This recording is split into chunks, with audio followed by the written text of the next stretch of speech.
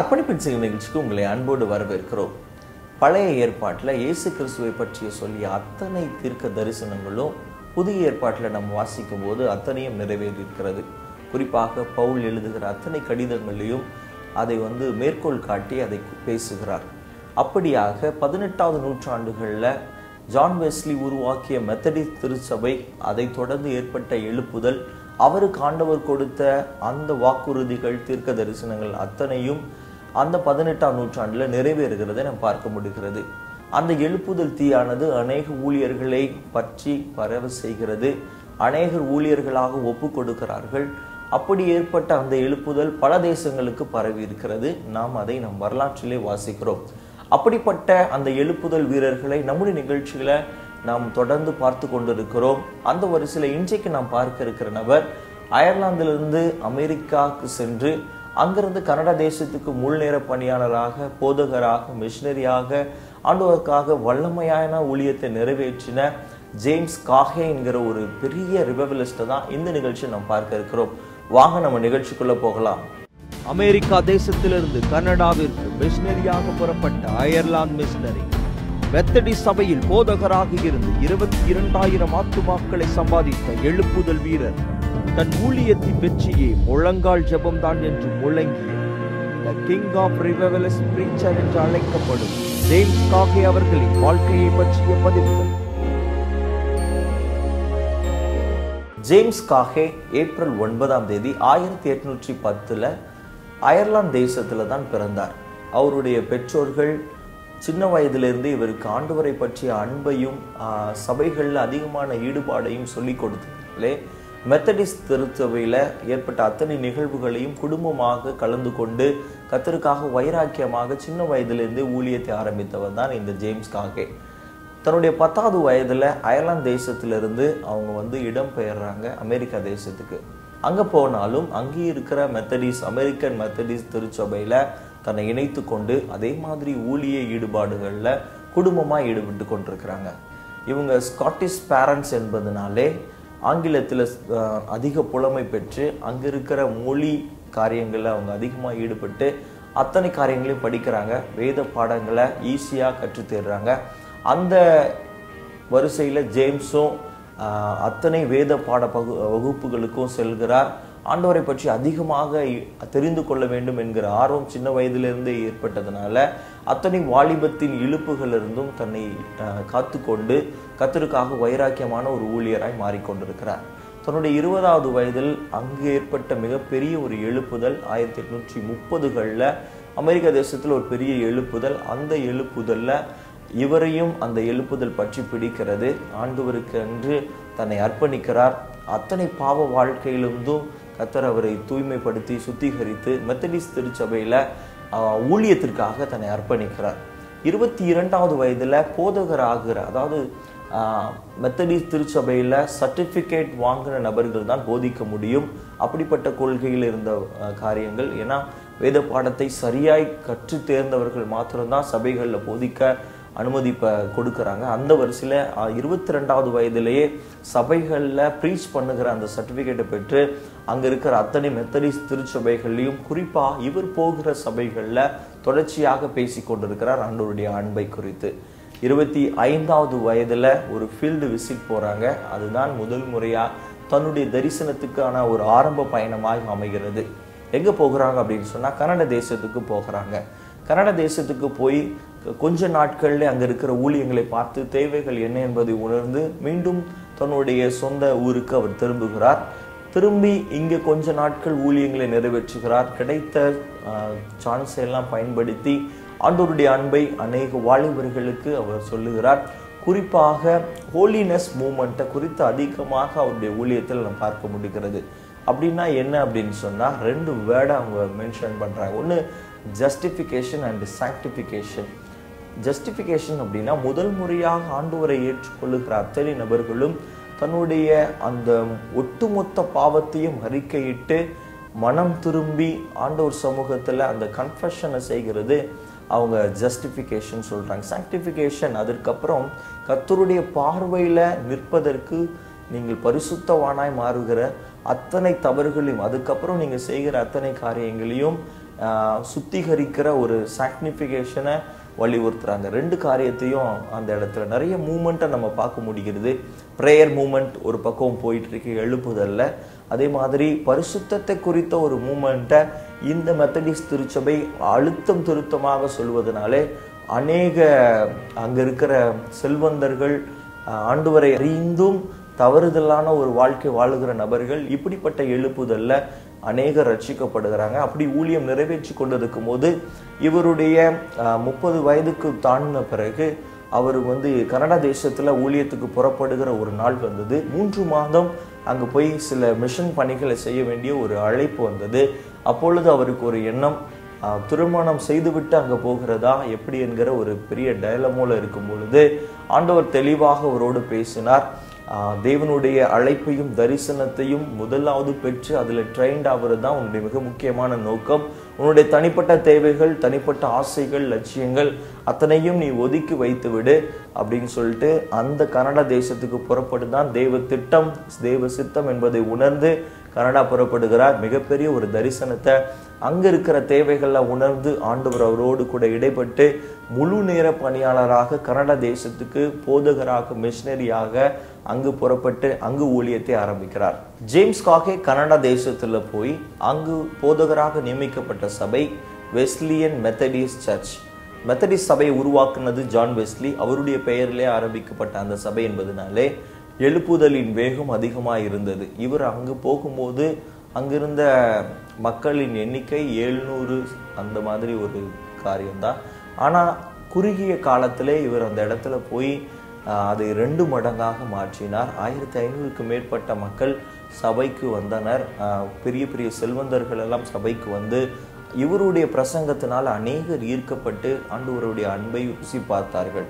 குறிப்பாக இவரை பற்றி சொல்லும் பொழுது இவருடைய பிரசங்கம் தான் இவருடைய ஊழியத்தின் மிக முக்கியமான ஒரு பலம் என்று சொல்லுகிறார்கள் ஃபுல்பிட் பிரசன்ஸ் அப்படின்னு சொல்லி அதாவது அவருடைய ஹைட்டும் வெயிட்டும் அவருடைய தோரணையும் குறிப்பாக அவர் பேசுகிற வார்த்தைகள் ஒவ்வொன்றும் ஒவ்வொருடைய இருதயத்திலும் இடி மாதிரி விழுந்து அத்தனை பேர்களையும் அசைக்கக்கூடிய ஒரு பெரிய பிரசங்க ஊழியத்தை இவருடைய போதகத்தில் நாம் பார்க்க முடிகிறது. குறிப்பாக இவரை வந்து கிங் ஆஃப் ரிவைவலிஸ்ட் ப்ரீச்சர்ஸ் என்று சொல்லுகிறார்கள். என்ன என்று சொன்னால் அநேக எழுப்புதல் பிரசங்கிகளை நாங்கள் பார்த்திருக்கிறோம். ஆனால் அது எல்லாவற்றிலும் தாண்டி குறுகிய காலத்தில் இப்படிப்பட்ட ஒரு எழுப்புதலை இந்த திருச்சபைகளில் கன்னட தேசத்தில் கொண்டு வந்தது நீங்கள் தான் அப்படின்னு சொல்லி அப்படி இவர்களை கிங் ஆஃப் ரிவைவலிஸ் ப்ரீச்சர்ஸ் என்று அழைக்கிறார்கள். அப்போது அவர்கிட்ட ஒரு நிருபர் வந்து சில கேள்விகளை கேட்கிறார்.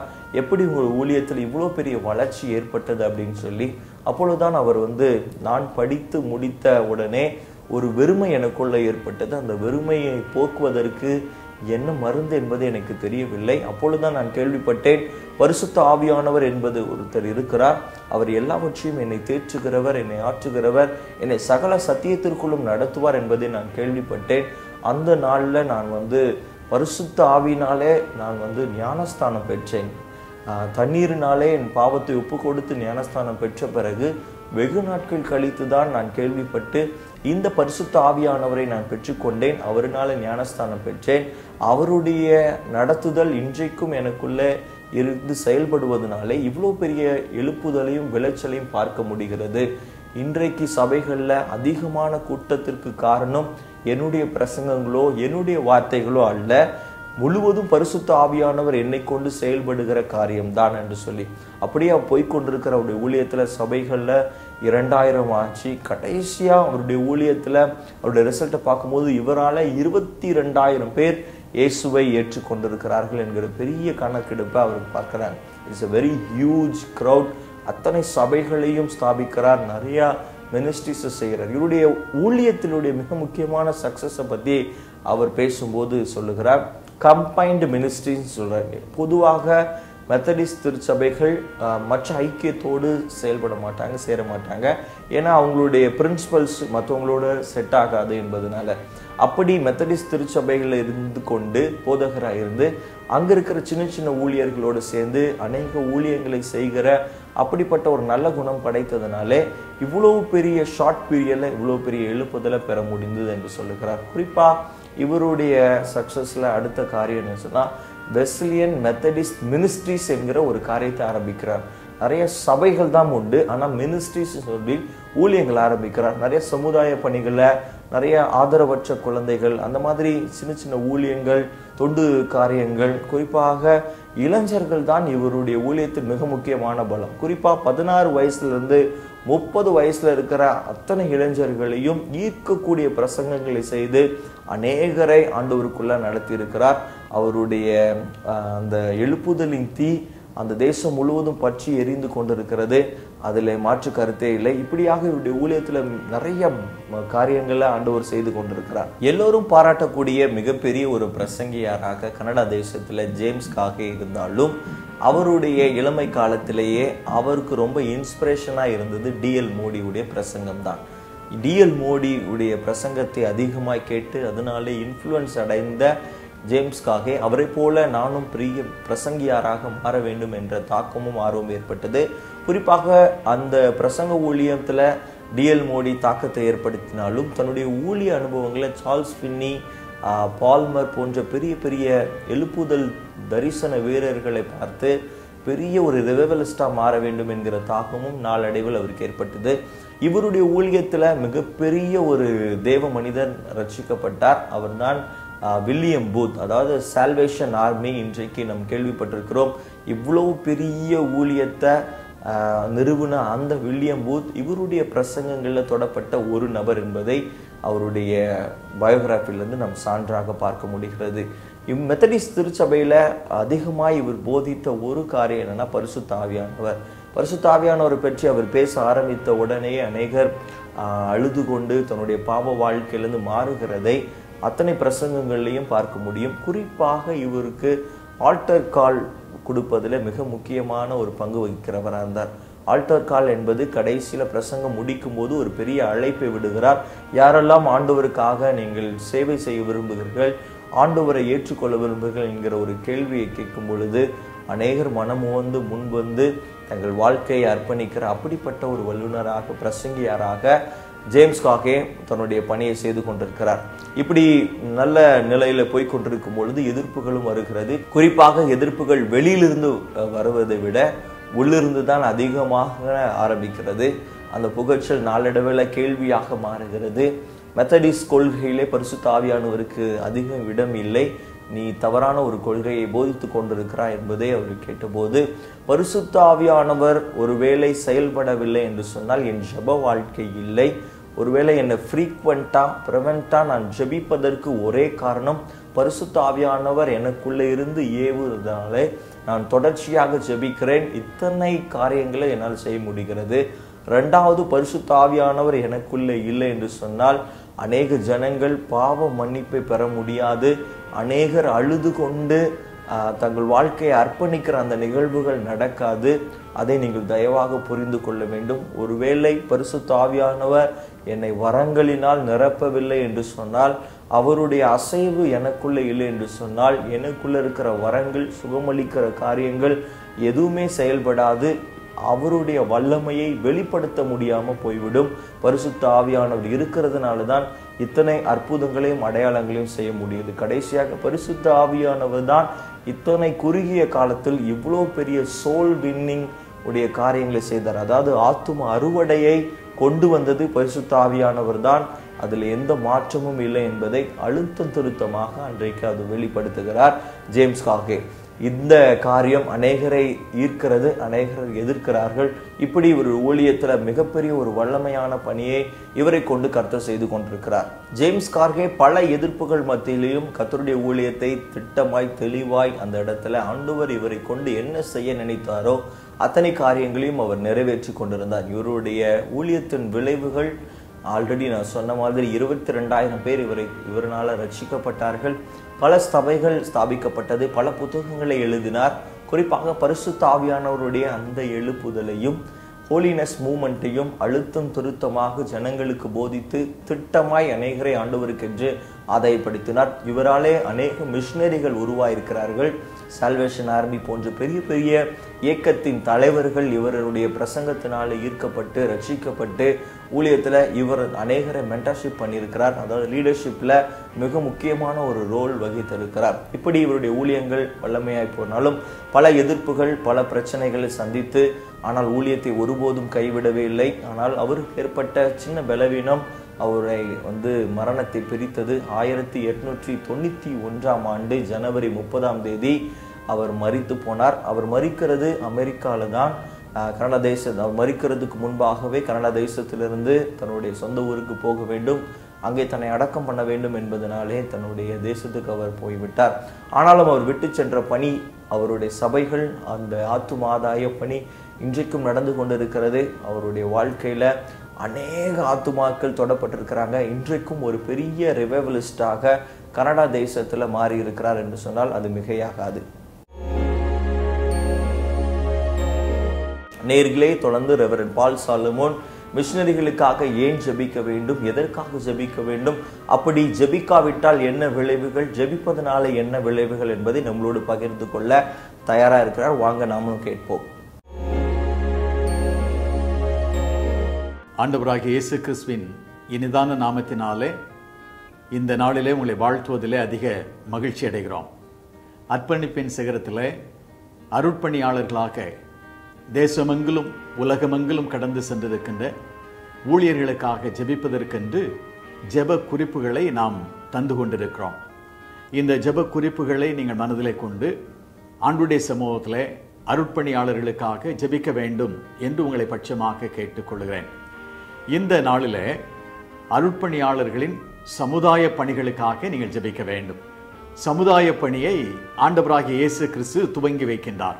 கண்கள் தெரியாதவர்களுக்கு பார்வை கொடுக்கின்றார். பெருங்கூட்ட மக்களுக்கு உணவில்லாமல் இருந்த மக்களுக்கு உணவு கொடுக்கின்றார். குடும்பத்திலே குறைவு ஏற்பட்ட போது அந்த குறைவை நிறைவாக்குகின்றார். தனி மனிதனுக்கு சுபிட்சம் தருகின்றார். குடும்பத்திற்கு மகிழ்ச்சி தருகின்றார். சமுதாயத்தின் தேவைகளை சந்திக்கின்றார்.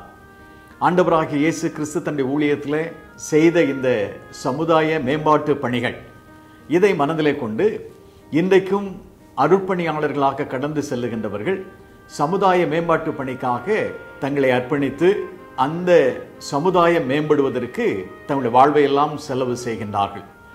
ஆக அருட்பணியாளர்களுக்காக நீங்கள் ஜெபிக்கும் போது சமுதாய மேம்பாட்டு பணியில் அவர்கள் நிறைவேற்றுகின்ற பணிகளுக்காக அன்றைய சமூகத்திலே நாம் ஜெபிக்க அழைக்கப்பட்டிருக்கிறோம்.